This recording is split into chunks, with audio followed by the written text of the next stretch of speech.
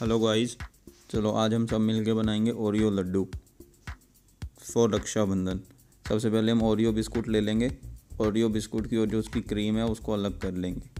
सारी क्रीम को अलग से निकाल लेंगे और ओरियो बिस्कुट को अलग रख लेंगे। फिर इन ओरियो बिस्कुट को ग्राइंडर में डाल के ग्राइंड कर लेंगे। फाइन पाउडर बना लेंगे। इसके अंदर टू टेबल स्पून मलाई ऐड करेंगे और two tablespoon choco sauce add करेंगे। और इसका एक ऐसा डो तैयार कर लेंगे अच्छे से मिक्स करके सबको। अच्छे से मिक्स करेंगे और इसका डो तैयार कर लेंगे। ये देखिए, बिल्कुल परफेक्ट ऐसे ही डो तैयार कर लेंगे। अब जो हमने ये सारी क्रीम अलग की थी, अब उसको साथ में ले लेंगे। और इसके अंदर हम ग्रेट किया हुआ कोकोनट ऐड करेंगे टू टेबल स्पून और इसे भी अच्छे से मिक्स करके इसका भी एक डो तैयार कर लेंगे।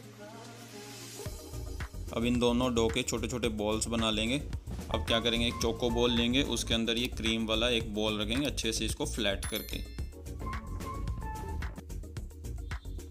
ऐसे एक क्रीम वाला बॉल रखेंगे इसके अंदर और इसको मिक्स करके राउंड राउंड राउंड करके किसका बॉल इसका बिल्कुल एक बॉल तैयार कर लेंगे। देखिए, ऐसे हम सारे बॉल्स तैयार कर लेंगे।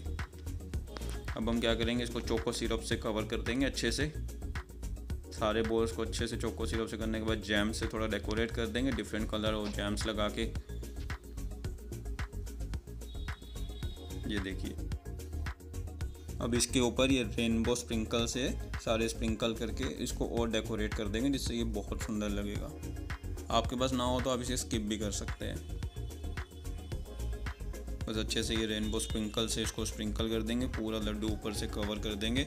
उसके बाद इसको थोड़ा सा फ्रीज कर लेंगे ताकि ये चॉकलेट सेट हो जाए। ये देखिए, लग रहा है ना मस्त? आप भी ट्राई करिएगा। Thank you